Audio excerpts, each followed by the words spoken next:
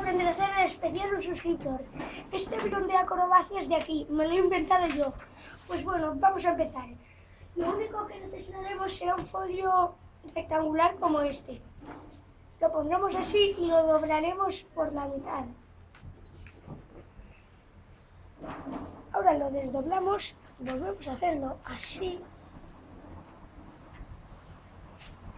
Y ahora así. Bueno, estos solo eran pasos para luego poder hacerlo bien. Ahora lo ponemos así de esta manera y hacemos esto. ¿Veis que queda aquí una raya? Lo volvemos a hacer y doblamos por la raya. Ahora hacemos así y las alas.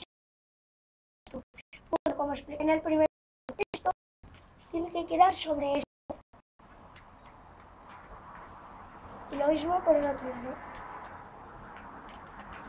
Bueno, hasta que este vídeo suscríbete y dale a like.